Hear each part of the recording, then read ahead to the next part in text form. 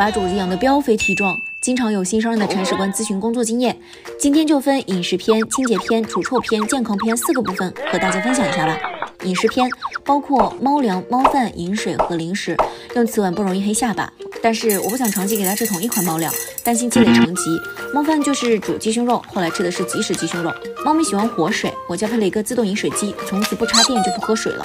零食基础的益生菌、冻干、猫条就差不多了。清洁篇，自从咕噜大人来了，湿巾就成了必备品。这是搓澡巾，这是除眼屎泪痕的，这些就是应付它各种弄脏的情况的。这个抽筒包装的，用起来很方便。除臭篇，咕噜一直用的是混合猫砂，三种颗粒的，除臭不错，还能够冲厕所。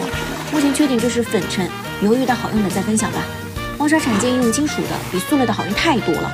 除臭机是用了很多种，大概分为两类：拉完就喷的，和蹭到衣服、沙发、地板上用的。建议不要用气味太刺激的，猫咪不喜欢。健康篇，猫三连我家打完了，以后每年一次。狂犬怕它有副作用，一直没去打。